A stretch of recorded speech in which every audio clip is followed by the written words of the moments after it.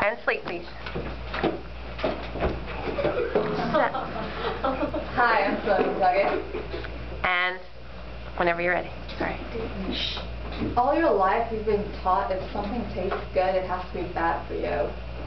Continental yogurt tastes like it's bad for you, but it's mm, good for you.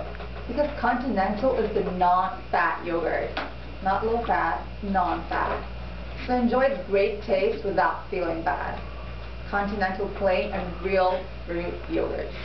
Tastes like it's bad for you, but mm, good for you. Good. Who are you talking to? Um, my best friend. Good. Um, is she trying to go on a diet? Shh. Yeah, she's actually always asking me for tips. All right, good. So, Good. I'll be her. What's her name? Sharon. Okay. Oh my God, Andrew, sit down.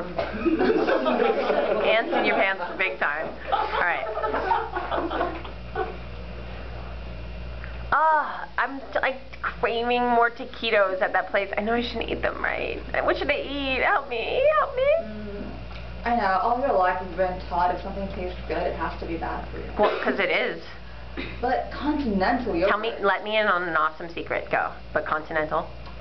But continental yogurt tastes like it's bad for you, but it's mm, good for you. Really? Because continental is the non-fat yogurt. Really? Wait, come on. Non-fat? Not low-fat, non-fat. Really? So enjoy great taste without feeling bad. Continental plain and real fruit yogurt. Ooh. Tastes like it's bad for you, but it's really mm, good for you. I think if you're going to do this, you need to eat it.